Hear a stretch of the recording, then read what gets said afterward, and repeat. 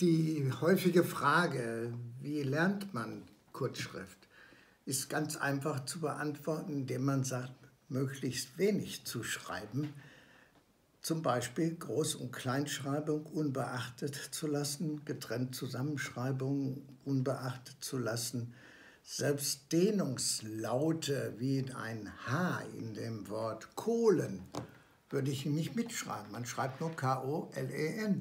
Man weiß beim Wiederlesen, was gemeint ist.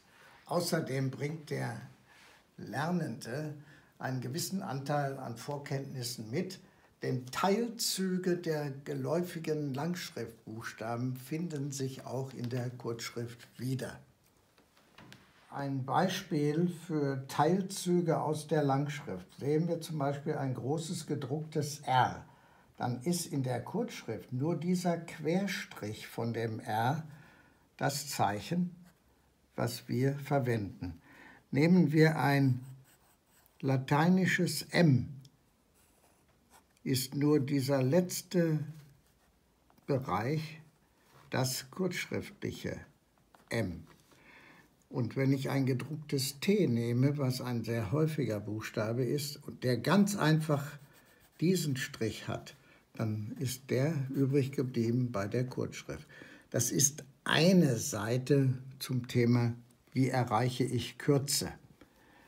Ob ich jetzt das Wort Kohlen, ich schreibe es erstmal langschriftlich hin, kurzschriftlich kleinschreiben würde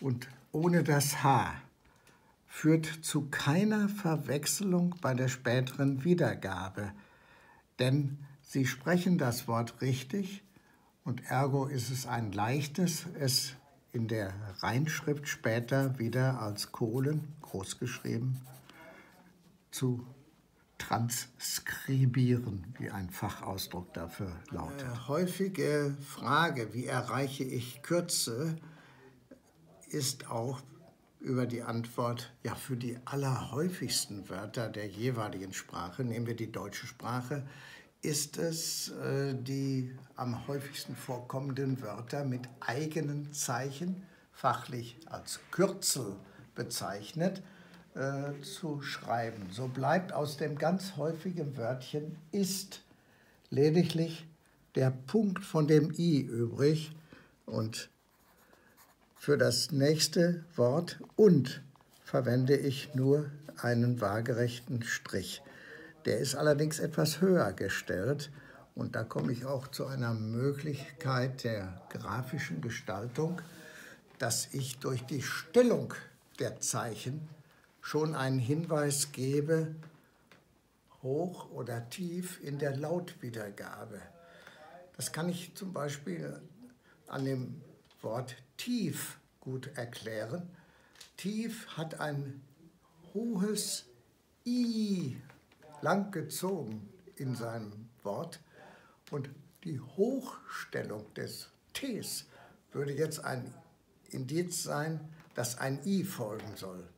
Und bei einer Tiefstellung in U, bei Mutter oder Butter, stelle ich das T aus der Wortmitte entsprechend tief. Das sind also grafische Möglichkeiten, Kürze zu erreichen und weder ein IE noch ein U als Buchstaben schreiben zu müssen.